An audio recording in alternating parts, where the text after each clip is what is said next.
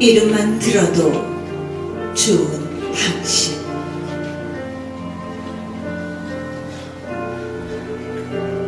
윤모여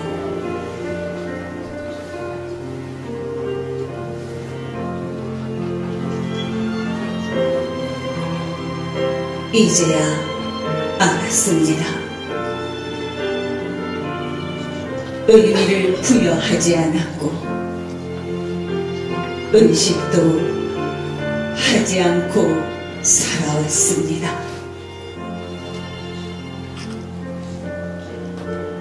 하지만 이영 말리 외국에 나와서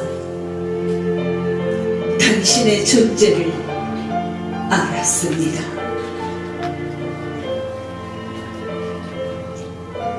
당신이 있어서 내가 있고 당신으로 인해 내가 행복했다는 사실 혼자 있어 보고 알았습니다.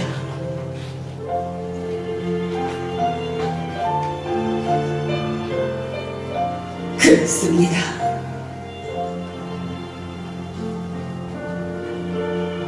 작은 풀한 포기, 꽃 한 송이도 내 행복을 위해 준 선물이었고 흔들리는 나뭇잎과 부는 바람 흐린 하늘까지도 당신의 일부였습니다.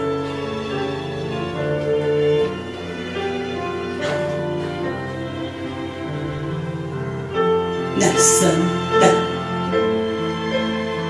담장에 핀 무궁화 꽃은 감동으로 다가왔고 나와 비슷한 사람만 봐도 따뜻한 정이 느껴졌습니다.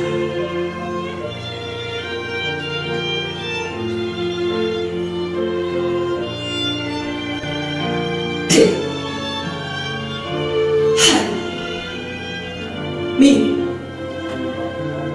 구.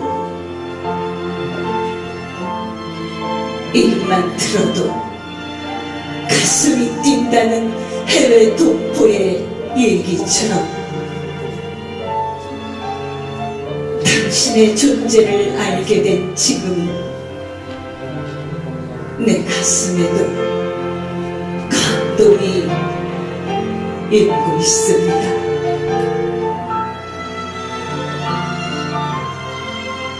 이름만 들어도 좋은 당신 사랑합니다. 대한민국 당신을 사랑